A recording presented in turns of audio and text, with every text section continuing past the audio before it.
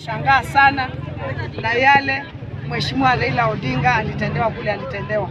Nataka kuambia wa viongozi bwana, hata nyinyi mnatembea sehemu za watu wengine, watu wenu wakianza kupiga watu ama kudhulumu watu wengine ni vibaya, na waambia hiyo tabia tukomeshe, because mkifanya hivyo itafika mahali watu hawatakuwa wanaweza kwenda kuomba kura mahali kwingine, na sisi hatutaki Kenya iko hivyo. Sisi tunataka Kenya ya ama ya amani, tukuwe na amani kila mahali. Wa jamani, mtu akitaka kuongea, wacha akuje aongee vile anaongea.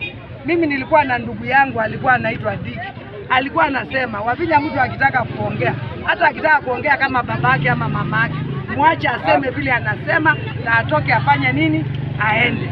Kwa nini wa jamani tunaanza maneno ya kuonyeshana heshima ndogo? Ukiniuliza, hiyo ni heshima ndogo. Wakenya tukae kwa amani, Wakenya tupendane. Ni miezi nne elections ziishe, zikiisha bado tutaishi kama wake wa kenya Kwa hivyo hayo maneno tuwache Wakenya.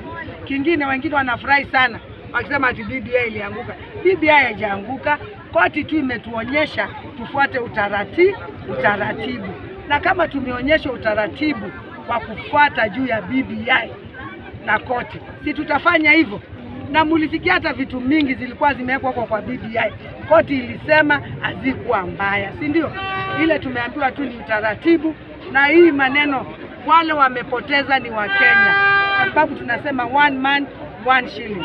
Kuna mahali kwingine watu wanapata basari hata ya 50 100,000 kwingine wanapata basari ya 3000 hiyo 3000 wa jamani, itasaidia mtoto.